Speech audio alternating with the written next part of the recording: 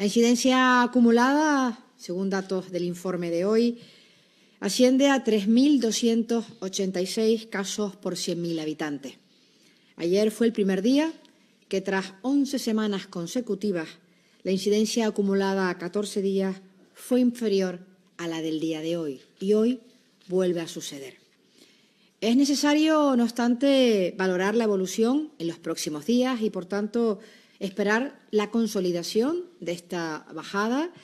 que, si es así, indicaría que ya hemos alcanzado el pico máximo de incidencia de esta onda epidémica o que al menos estaríamos ya muy cerca, muy cerca de ese punto. Por tanto, segundo día consecutivo de bajada, pero prudencia y esperar a la consolidación de los datos de los próximos días. La estabilización o el inicio de este descenso de la incidencia se observa en todos los grupos de edad.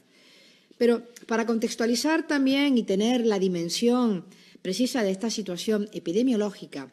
es preciso comentar que pese a las altas incidencias eh, observadas durante esta sexta ola, hasta casi siete veces superior a las observadas al menos en la misma fecha hace un año,